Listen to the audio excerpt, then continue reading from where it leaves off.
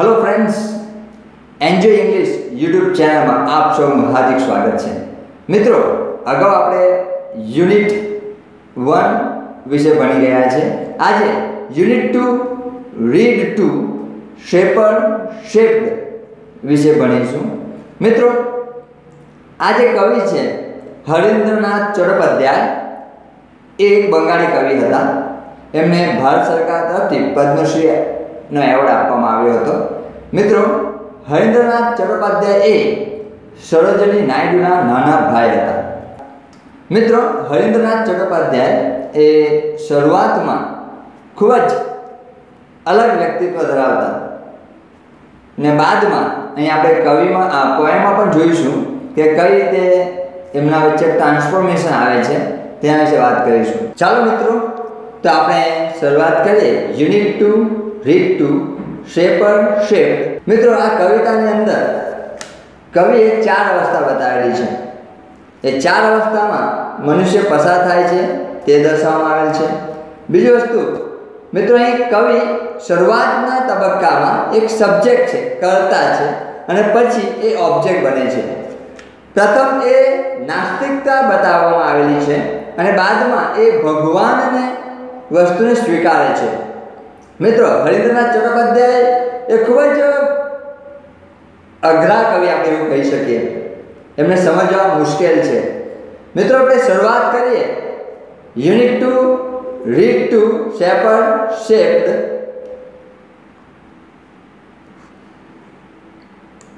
In days gone by, I used to be a potter who would fill his fingers mold the yielding clay to pattern on his bills. In days gone, I used to be.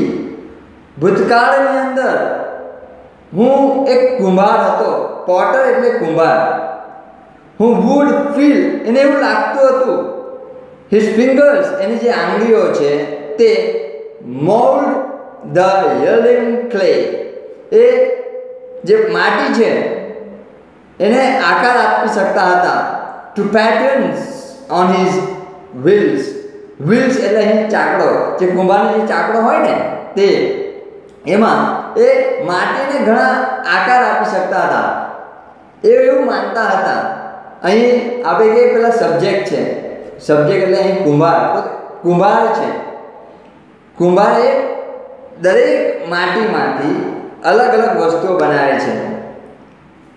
અહીં કવિ પ્રથમ તો પોતાની જાતને બા એવું સમજે છે કે મારા જેવો કોઈ કારીગર નથી. આઈ એમ ધ બેસ્ટ એવું માને છે. કારણ કે એ દરેક વસ્તુઓ જે માટીમાંથી બને છે, એના જેવો એને એ જે રીતે બનાવી શકે છે એવું કોઈ બનાવી શકતું નથી. But now through wisdom lately won પરંતુ પછીથી એને ડાપણ આવ્યું વિઝડમ એને ડાપણ આવ્યું.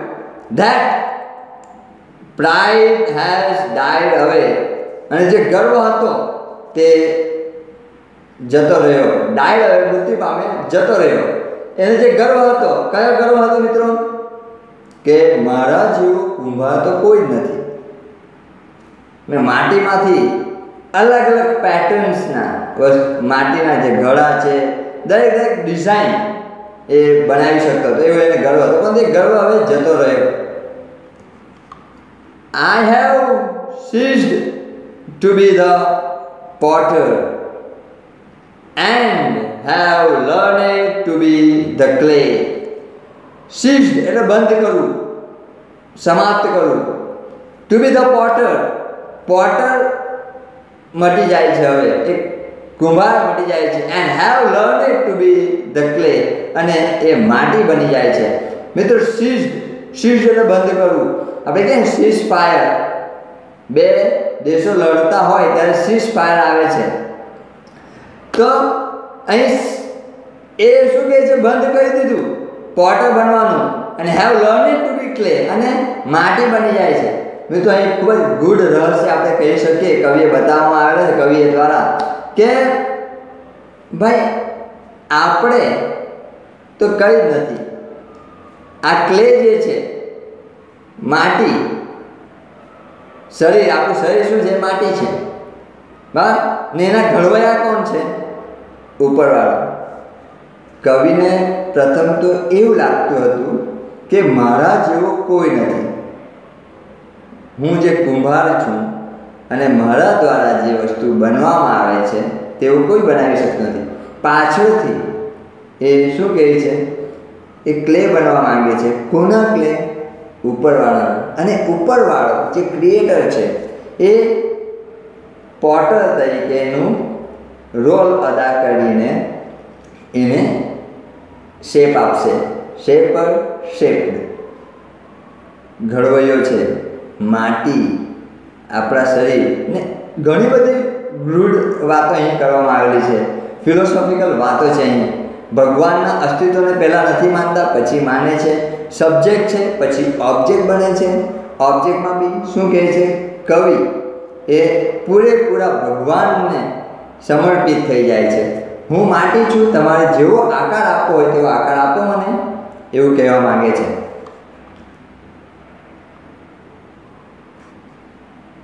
In other days, I used to be a poet through whose pen innumerable songs would come to win the hearts of man.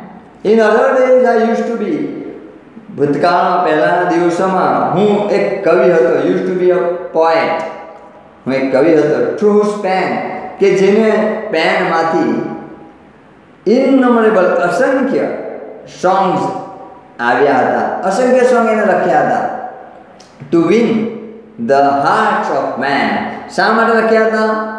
લોકોના હૃદય જીતવા માટે. આપણે જાણીએ છીએ મિત્રો કે જે લિરિક્સ રાઇટર હોય છે, જે ગીતો લખે છે, એ શા માટે લખે છે? કે જેથી લોકો એમને યાદ કરે. મિત્રો, અહીં કવિ પણ પહેલાં પોએટ હતા. તેમણે એમની પેનથી અસંખ્ય ગીતો લખેલા છે અને લોકોના હૃદય જીતેલા છે. But now through new got knowledge which I had not had so long but now through new got knowledge હવે મને નવું જ્ઞાન આવ્યું એમ કે, કવિ કહે છે which I had not so long મારા પાસે પહેલાં જ્ઞાન ન હતું. પહેલાં સબ્જેક્ટ હતા પોએટ હતા. ને પછી એક નવું જ્ઞાન આવ્યું, કહ્યું કે ઉપરવાળા જે છે તે શ્રેષ્ઠ છે. I have ceased to be the poet and have learn to be the song હું પોએટ તરીકે મટી જાઉં છું અને I have learn to be the song અને હું ગીત બનવા માંગુ છું. કોનું ગીત? ઉપરવાળાએ રચેલું ગીત. પોતે રચયિતામાંથી બંધ થઈ જાય છે. પોતે રચનાકાર બંધ થાય છે. હવે પોતે કવિ નથી બનવા માંગતા. એ ભગવાનનું ગીત બનવા માંગે છે. આપણે લખીએ છીએ, કોઈ કવિ હોય, કોઈ ગીતકાર હોય, એ ગીત લખે છે. આપણે ઘણા ગીતો આપણે યાદ રાખીએ છીએ. પણ એના ગીતકાર આપણે યાદ રહેતા નથી. કવિ એ જ વસ્તુ માનવા માંગે છે કે હું ભગવાનનું એવું ગીત બનું, હું ભગવાનનું એવું ગીત બનું કે લોકોના મુખે ગવાવું. ભગવાનનું એવું ગીત બનું કે લોકોના મુખે ગવાવું. મને લોકો ગીત તરીકે વર્ષોના વર્ષો યાદ રાખે. કવિ ભગવાનનું ગીત બનવા માંગે છે.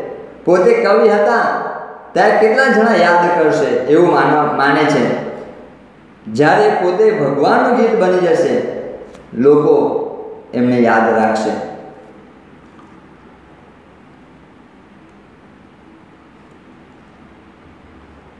I was a fashioner of swords in days that now are gone, which on a hundred battlefields glittered and gleamed and shone.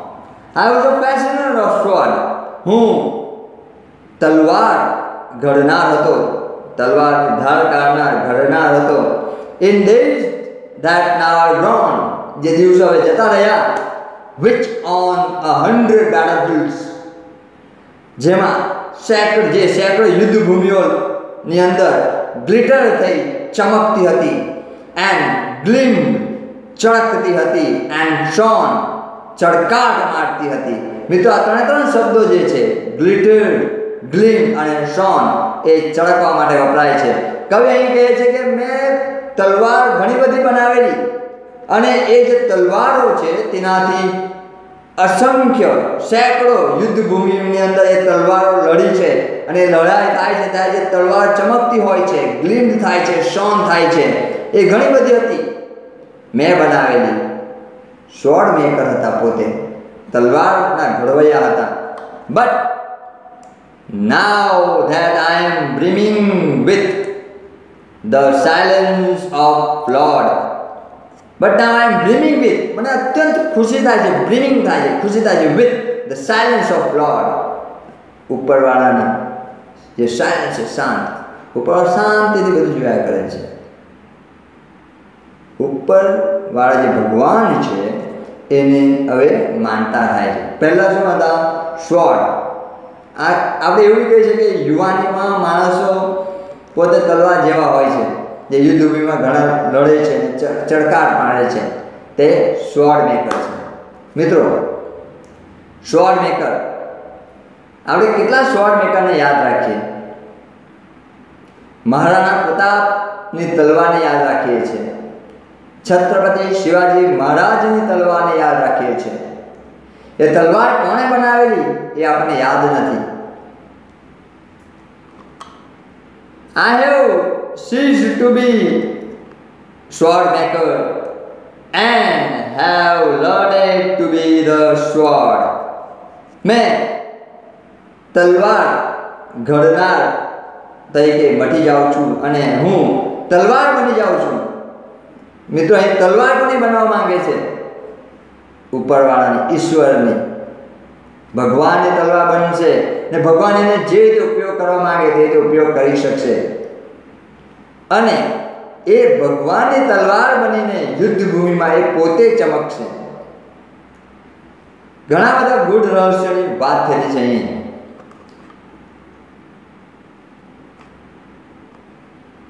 In bygone times, I used to be a dreamer who would hurl on every side an insolence of emerald and pearl. In bygone અગાઉના વર્ષમાં time I used to be a dreamer હું એક સ્વપ્ન દ્રષ્ટા હતો હું wood હલ કે જે બૂમો પાડતો હતો on every side of insurance અન્યાયની બાબતમાં દરેક રીતે ઓફ એમરલ્ડ એન્ડ પર્લ બધું ભેગું કરી દેવા માંગતો હતો. ડ્રીમર હતા. ડ્રીમર હોય ને, બધી વસ્તુ જો, જોઈએ, મને જોઈએ. આ વસ્તુ જોઈએ. એમરલ્ડ જોઈએ છે પર્લ જોઈએ છે. અન્યાય હોય. અન્યાય કરીને પણ એ વસ્તુ મેળવવા માંગતા હતા. કવિ અગાઉના વર્ષમાં ડ્રીમર હતા. સ્વપ્ન દ્રષ્ટા, સ્વપ્ન જોતા હતા. મિત્રો, આપણે જોઈએ વ્યક્તિ શરૂઆતની અવસ્થામાં. ઘણી બધી વર્ષો પછી એ સ્વપ્ન જોઈએ કે મારે આ વસ્તુ જોઈએ આ વસ્તુ આ જોઈએ છે. એ ડ્રીમર હોય છે. ત્યારે એ કઈ વસ્તુ સારું છે, ખરાબ છે, એ જોતા નથી. એ શું જો, બે જ વસ્તુ જોઈએ છે ને એક તો એમરોડ અને pearl. But now that I am kneeling at the feet of the supreme. પરંતુ હવે હું સુપ્રીમના પગ પાસે બેસી જાઉં છું, ઘૂંટણે પડી જાઉં છું. But I now that I am kneeling. હું ઘૂંટણે પડી ગયો છે. કોના? સુપ્રીમના. મેં તો અહીં સુપ્રીમ એટલે ગોડ, ભગવાન.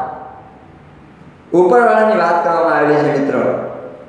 એ સુપ્રીમના ઘૂંટણે પડી ગયા છે.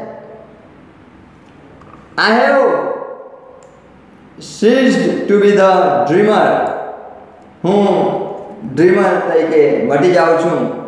And have learn to be the dream અને હું સ્વપ્ન બની જાઉં છું. સ્વપ્ન કોનું? ઉપરવાળાનું. મિત્રો, સ્વપ્ન ઘણા બધા વ્યક્તિઓ જોયા હોય. એ વ્યક્તિ ન હોય ને, છતાં એનું સ્વપ્ન પૂરું થાય. ડૉક્ટર એપીજે અબ્દુલ કલામે પણ સ્વપ્ન જોયું છે કે ભારત એક આર્થિક મહાસત્તા બનશે. સ્વામી વિવેકાનંદ ને ભારત વિશે સ્વપ્ન જોયા છે. એ વ્યક્તિઓ નથી, પણ સ્વપ્ન છે. એ સ્વપ્ન પૂરા થશે. તેથી અહીં કવિ એ ઉપરવાળાનું સ્વપ્ન બનવા માંગે છે. પોતે સ્વપ્ન દ્રષ્ટામાંથી બંધ થઈ જાય છે અને પોતે સ્વપ્ન બની જાય છે. મિત્રો, કેવો લાગે મારો વીડિયો? જો તમને આ મારો વીડિયો ગમ્યો હોય, તો લાઈક કરજો સબસ્ક્રાઈબ કરજો. Thank you.